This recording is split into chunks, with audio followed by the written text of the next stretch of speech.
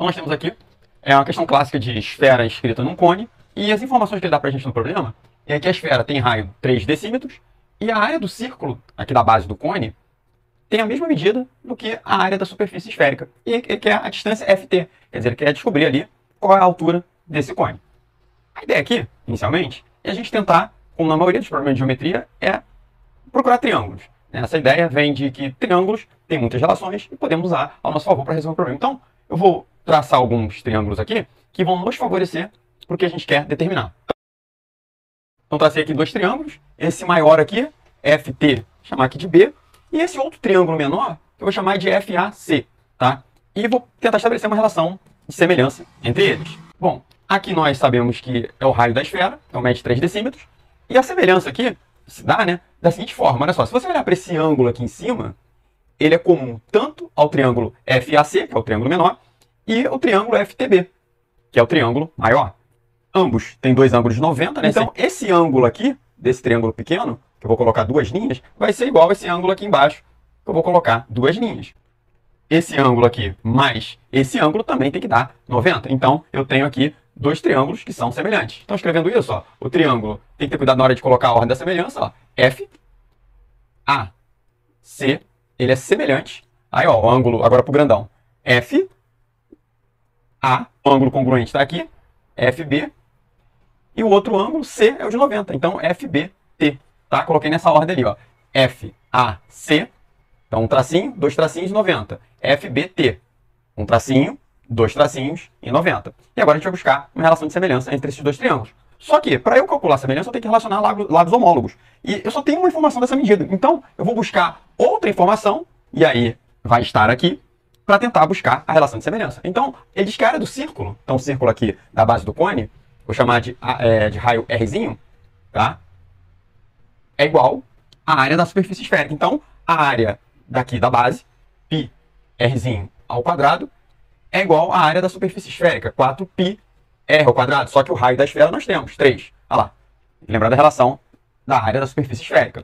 O π daqui a gente pode cortar com o π daqui. e aí, o que, que a gente vai ter? Ó, a gente vai ter que r ao quadrado é igual a 4 vezes 9, que é 36.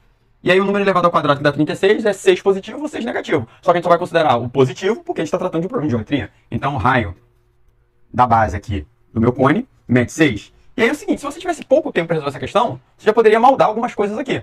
Olha só, você percebeu que esse lado aqui, né, ele tem, ele é, é o dobro né, do valor dessa medida aqui. E repara que é 90 e aqui eu tenho o ângulo com dois tracinhos. 90 e o ângulo com dois tracinhos.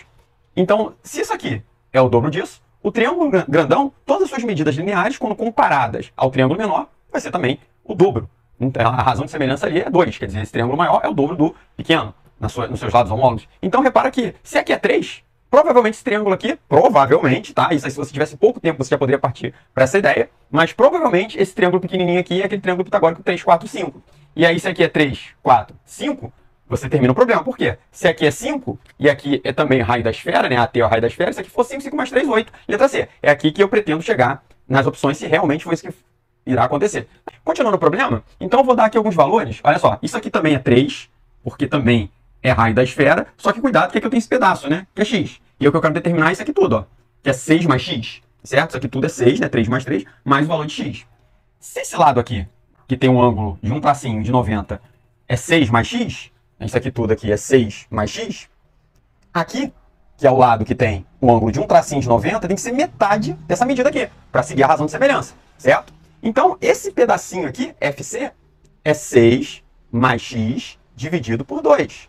Metade é a metade desse lado aqui, já que nossa razão de semelhança, um é o dobro do outro, um é metade do outro. E aí eu assim. posso usar, por exemplo, o teorema de Pitágoras, porque a minha única incógnita aqui passa a ser o x, que é justamente o que eu quero determinar. Estou usando Pitágoras, o quadrado da hipotenusa, a hipotenusa é 3 mais x, então o quadrado da hipotenusa é igual à soma dos quadrados dos catetos.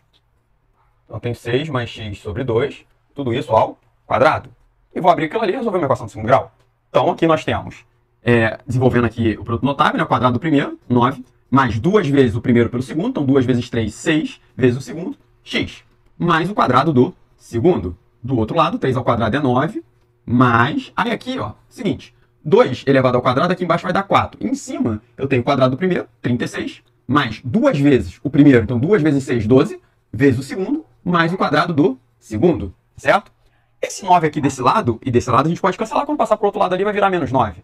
É, desenvolvendo aqui, o que, que eu posso fazer? Aqui não tem ninguém para juntar desse lado, desse lado também, mas eu tenho que eliminar esse denominador. Então eu posso passar esse 4 para cá multiplicando. Então esse 4 vai multiplicar o 6x, então 24x, e vai multiplicar o x ao quadrado, mais 4x ao quadrado. Do outro lado, eu repito, 36 mais 12x mais x ao quadrado. Vou jogar todo mundo pro lado de cá, tá? Então o que nós temos aqui? Ó, 4x, quando eu passar o menos x ao quadrado pro outro lado, né, vai virar menos x ao quadrado, então 4x ao quadrado menos x ao quadrado, 3x ao quadrado. 12x, vou passar para cá. Vai ficar menos 12x mais 24x. Então menos 12x mais 24x vai sobrar ainda 12x. E nós temos aqui o 36, vai passar para cá com menos 36 e do outro lado vai sobrar zero. Melhorar um pouquinho essa equação de segundo grau para facilitar aqui a nossa resolução. Vou dividir tudo por 3, né? Todos os números aqui estão na tabuada de 3. Então quando você divide por 3, a equação vira x ao quadrado mais 4x menos 12 igual a zero. Tá? Agora você escolhe o método aí para resolver a equação de segundo grau. É eu fazer por soma e produto, então a soma de dois números tem que dar menos 4, né? Menos b sobre a. Então a soma tem que dar menos 4. E o produto c sobre a tem que dar menos 12. Então, dois números que dá a soma 4 e 12. Para dar 12, você tem 3 e 4. Mas a soma não dá 4. Tem 6 e 2. Só que para dar menos 4, aqui tem que ser menos 6.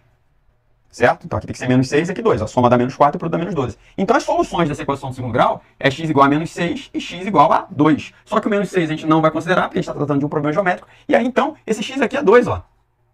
Realmente, realmente, o que eu desconfiei era verdade. 3 mais 2, 5. Esse triângulo realmente é o 3, 4, 5. Se você substituir aqui o 2, vai ficar 6 mais 2, 8. 8 dividido por 2, 4. E aí a nossa altura, né, o FT, 2 mais 3, 5. 5 mais 3, 8. Letra C. Então, repara aqui, poderia já ter resolvido, ter resolvido esse problema bem antes, quando você tem menos tempo aí para resolver, com uma explicação, gente vai fazer passo a passo, para você ver realmente que algumas coisas a gente pode adiantar quando a gente está fazendo a questão de um concurso. Tá legal, gente? Bom, espero que você tenha entendido. Curta, compartilhe, não se esqueça de se inscrever tanto aqui no canal quanto lá no Instagram, que tem vídeos desse e de outros concursos. Ah, não esqueça também de ativar as notificações do canal, para toda vez que tiver um vídeo novo, você estar se preparando melhor para os concursos. Obrigado por ter assistido, até o próximo vídeo, se cuida, tchauzinho.